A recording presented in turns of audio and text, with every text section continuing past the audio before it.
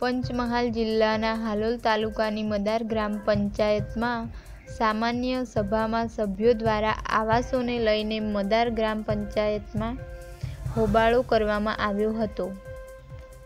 પ્રાપ્ત માહિતી મુજબ હાલોલ તાલુકાના મદાર ગ્રામ પંચાયતમાં સભ્યો દ્વારા આક્ષેપ કરવામાં આવ્યો છે કે સરકારી આવાસોમાં પણ પાકા મકાનો હોવા છતાં પણ આવાસો આપવામાં આવે છે.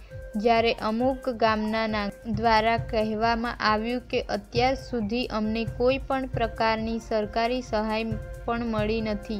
સ્થાનિક અધિકારી દ્વારા પાકા મકાન ધરાવતા મકાન માલિકોને પણ જો આવાસના હપ્તા આવતા હોય તો ગરીબ અને ઝૂંપડી બાંધીને રહેતા લોકોને આપવા માટે કેમ અલ્લાટલ્લા કરવામાં આવે છે?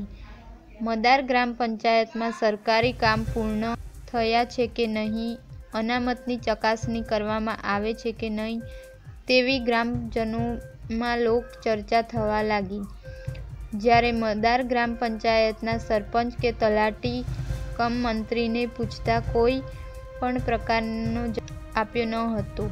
હવે જોવાનું રહ્યું કે હાલોલ તાલુકા વિકાસ અધિકારી દ્વારા કોઈ પણ પ્રકારની કાર્યવાહી કરવામાં આવશે કે નહીં? રિપોર્ટર નવનીતભાઈ ગોહિલ હાલોલ નાનાભાઈ પરમાર મદાર. બરાબર બસ સ્ટેન્ડ વાળું ફર્યું. એમાં અમારા ઘરમાં અમે સાત ભાઈ છીએ. એમાં એક જ ભાઈને ટોયલેટ ફાડ્યું. કોઈને બીજાને ફાડ્યું નથી. અને આવાસ પણ એક ભાઈને ફાડ્યું. બીજાને જરૂરિયાત છે આવાસની.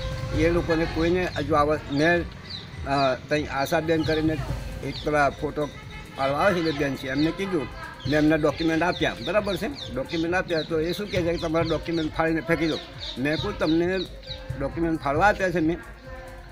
અને મારા આવાસના ફોટા બોટા બધું આપી ડોક્યુમેન્ટ પૂરા આપી અહીં તરાટીબેનને બી ડોક્યુમેન્ટ આપ્યા છે. તરાટીબેનને બી આપ્યા તો કે સરપંચને બોલો. સરપંચને કહું છું તો કે ઓનલાઈન કરાય એવું કહે છે. સરપંચ તો કહે છે જ. સરપંચ ના નહીં કહેતા. પણ ઓનલાઈન થશે તર થશે એમ કહે છે. તમે ડોક્યુમેન્ટ કોણ આપ્યા હતા હા જો એક તો આશાબેનને આપ્યા ત્યાં તાલુકા પંચાયતમાં. અને બીજા આપ્યા અહીંયા તલાટીબેન. આ નૈનાબેન કે શું એમનું નામ છે એમને આપ્યા. તલાટી તમને શું કીધું? ફોર્મ આપ્યા પછી? તલાટીબેન કહે છે કે મારે સરપંચને તમે સરપંચને મળો. સરપંચ કહે છે કે ઓનલાઈન થશે એટલે કરાવીશ સરપંચ મારા ભત્રીજા જ છે એ સગા જ છે. એટલે એમાં એમનું કેવું છે કે ખોટું છે જ નહીં. એ તો બરાબર જ કહે છે.